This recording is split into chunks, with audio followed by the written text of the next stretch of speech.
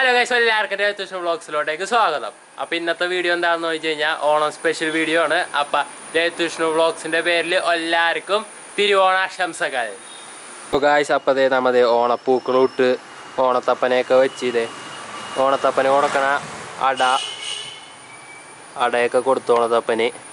പരിപാടിയൊക്കെ കഴിഞ്ഞു ഓണത്തപ്പൻ രാവിലത്തെ പരിപാടിയൊക്കെ കഴിഞ്ഞ്. ഇനി നമ്മതേ ഫുഡ് അടിക്കാൻ പോണേണ് അപ്പം. ഫുഡ് ഫുഡ് അടിച്ച് കഴിച്ചും വരാം.